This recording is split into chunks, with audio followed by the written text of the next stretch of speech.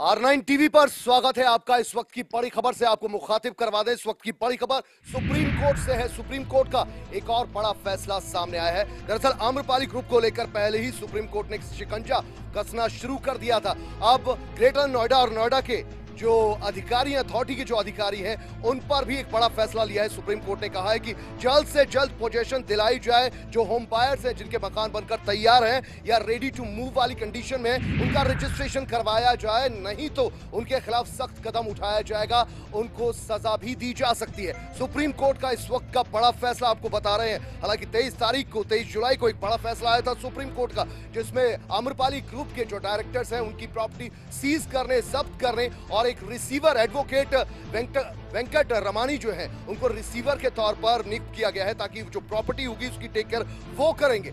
लेकिन इस वक्त की बड़ी खबर जो है, वो सीधे तौर पर नोएडा और ग्रेटर नोएडा के अधिकारियों अथॉरिटी के अधिकारियों पर है कि अगर उन्होंने वक्त से पोजेशन नहीं दिया होम बायर्स को तो उनको सजा भी हो सकती है इस वक्त की बड़ी खबर। लगातार अपडेट के लिए आप जुड़े रहिए आर नाइन टीवी के साथ।